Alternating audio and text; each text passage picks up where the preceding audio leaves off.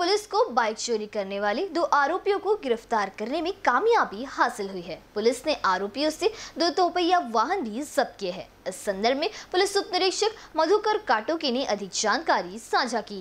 शहर में दिन प्रतिदिन चोरी की घटनाओं में इजाफा हो रहा है, लेकिन पुलिस भी ऐसी वारदातों की रोकथाम के लिए बड़ी ही सक्रियता से काम कर रही है। ऐसा ही एक मामला शहर के यशोधरा पुलिस थाना अंतर्गत सामने आया है। मिली जानकारी के अनुसार शनिवार को यशोधरा नगर पुलिस कश पर थी, जिस दौरान उन्हें गुप्त सूचना मिली की आरोपी शेख मोहम्मद फैजान अपने एक मित्र के साथ चोरी की बाइक लेकर घूम रहा है। इस पर कार्रवाई करते हुए पुलिस ने योजना के तहत आरोपी और उसके मित्र को हिरासत में लिया।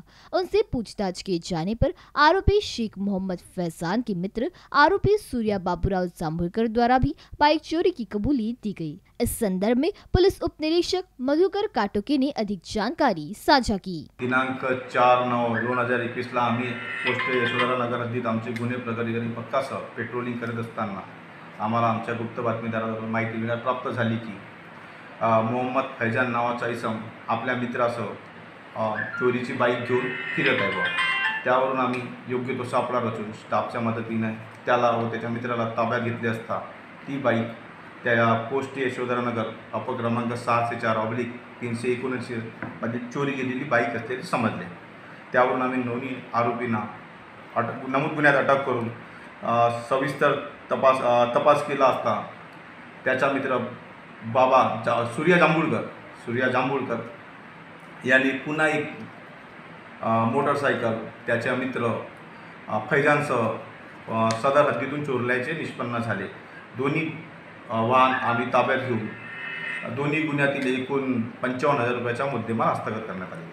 सर आरोपी विरुद्ध पुढील काय गुन्हा दाखल होते का? हा दोन्ही गुन्हेगार हे अट्टल आहेत आणि त्यांच्यावर वेगवेगळ्या पोलीस स्टेशनला चोरीचे वेगवेगळ्या प्रकारचे गुन्हे दाखल आहेत. नाही नाही नाही दोन्ही नाबालिक कोणी नाही. बिलकुल नाही. सर नागरिकांना काय आवाहन करा अशा कोणत्याही प्रकारची अनुचित घटना झाल्यास त्यांनी लागलीच पोस्टेच्या संपर्क क्रमांक शंभर किंवा लागली नजीकच्या पोलीस स्टेशनला माहिती द्यावी. आ? सध्या कोरोनाचा काळ असल्यामुळे सर्वांनी आपापली काळजी घ्यावी. पुलिस ने दोनों आरोपियों को हिरासत में लिया है और पुलिस द्वारा आगे की कार्रवाई जारी है. बता दें कि दोनों आरोपियों पर पहले भी मामले दर्ज होने की खबर है। कैमरा पर्सन अखिलेश भारद्वाज के साथ दिशा हटवार बी न्यूज़ नागपुर।